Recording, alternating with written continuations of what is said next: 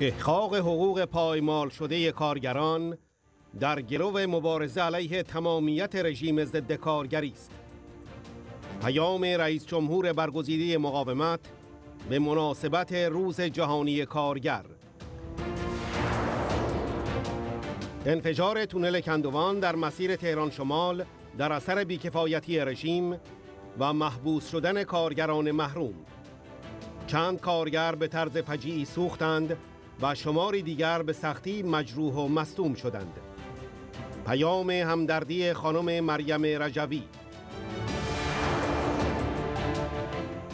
فعالیت های کانون های شورشی. گرامی داشت روز جهانی کارگر در میهن اشغال شده.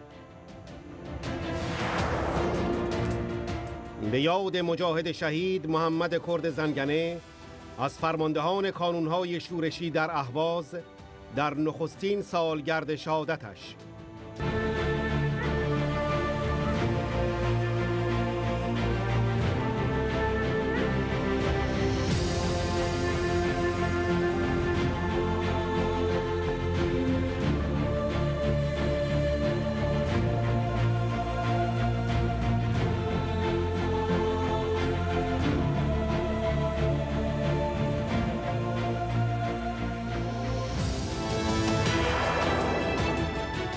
روزخانی آخون روحانی و دلداری دادن به پاسداران نظام همزمان با لغو کامل های خرید نفت از رژیم.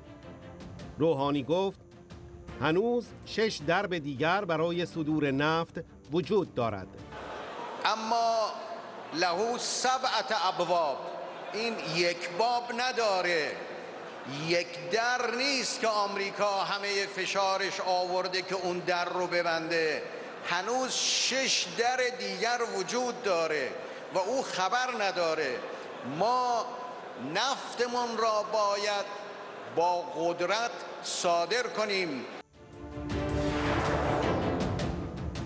سخنگوی مجاهدین. شش در آتشینی که آخوند بی سواد ارتجایی با اشاره معکوس به آیه قرآن به آن ارجا می دهد به آتش جهنم ختم می شود که در انتظار رژیم است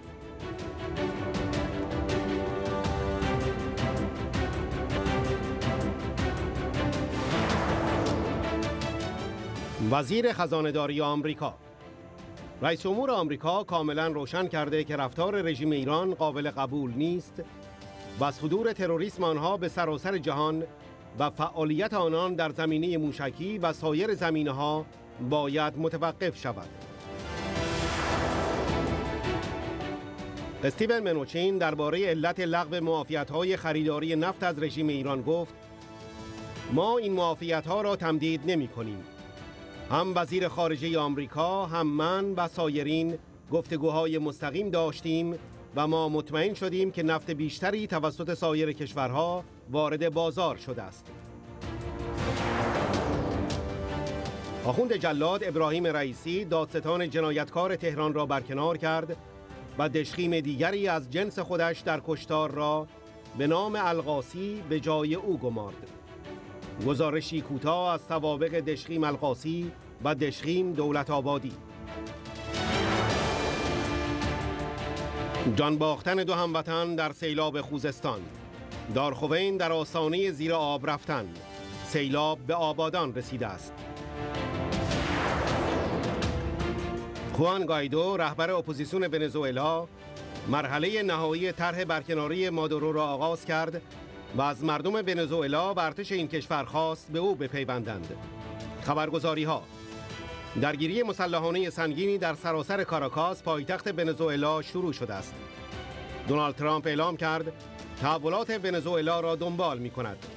مایک پنس معاون رئیس جمهور آمریکا نیز اعلام کرد ایالات متحده در کنار گوایدو و مردم این کشور تا رسیدن به پیروزی خواهد ایستاد.